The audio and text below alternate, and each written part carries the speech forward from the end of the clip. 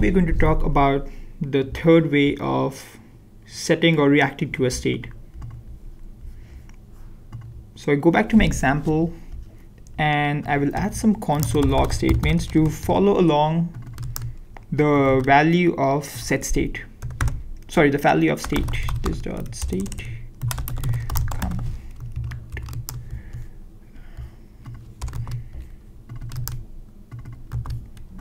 So we had console log inside handle click, one inside set some state, another one here.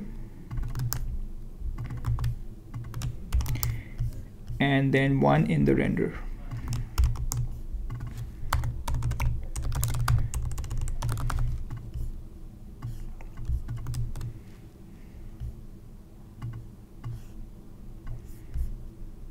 Okay, so I refresh this.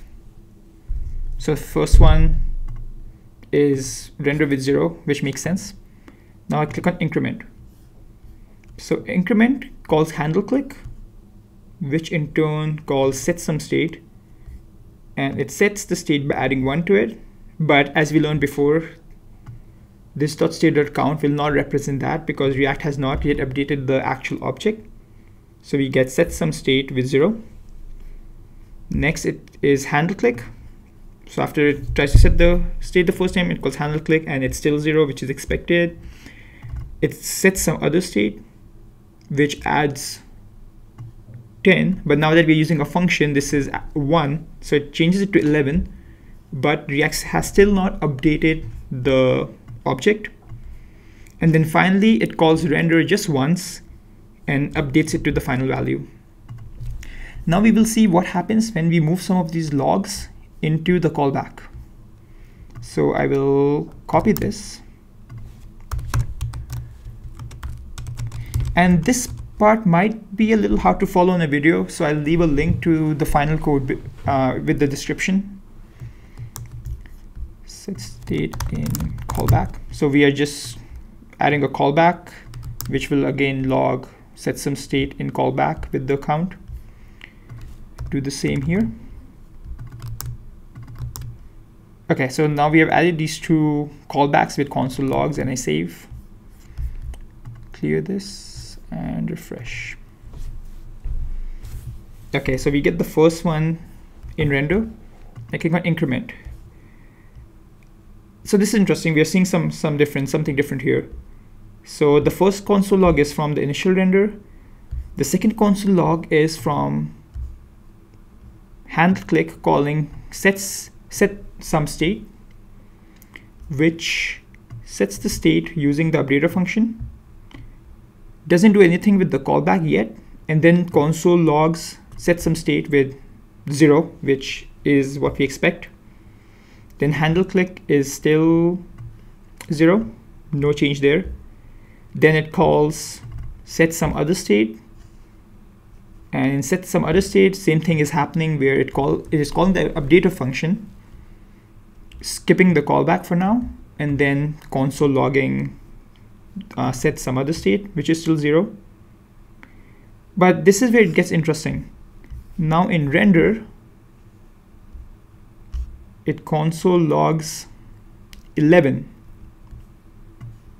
so it renders with the correct state but then once the state has updated, which is that this dot state object has updated, it will start calling the callbacks in the same order in which they were set. So since this callback, which was set first in handle click, this will be executed by the React code, and then it will go on to the next callback.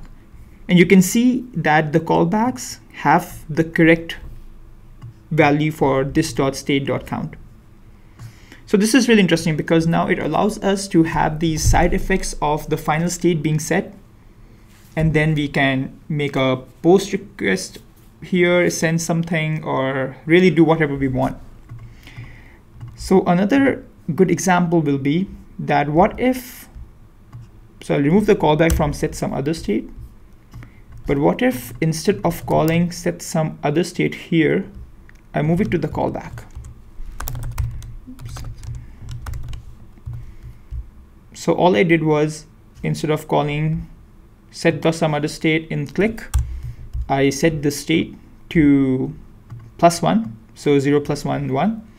And then it sets a callback and that callback will be responsible for setting the previous count to 10. Uh, sorry, previous count and adding 10 to it. So I clear this and I refresh. Let me save this.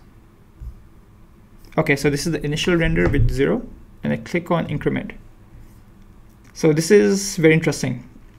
So initial render with zero makes sense. Then set some state, which hand click called, call the updater function, doesn't call the callback, but saves it somewhere in memory, and then logs this out as expected. Then handle click, nothing changes there, it is still zero. But then it actually called our render method with one. So what it did was, and it was too quick to see, it actually, it rendered this with one. And then it went on to call the callback. And inside the callback, since we are calling the set state again, it calls this. And you can see that set some other state has the latest state value. That's because this function was called from the callback and then it calls render again with the value of 11. So this is an interesting way to follow along. Okay, what is React doing when I'm calling set state from callbacks, when I'm calling multiple set states, when I am calling set states in different ways. So I hope this is for helpful. I will leave a link in the description so you can play around with it.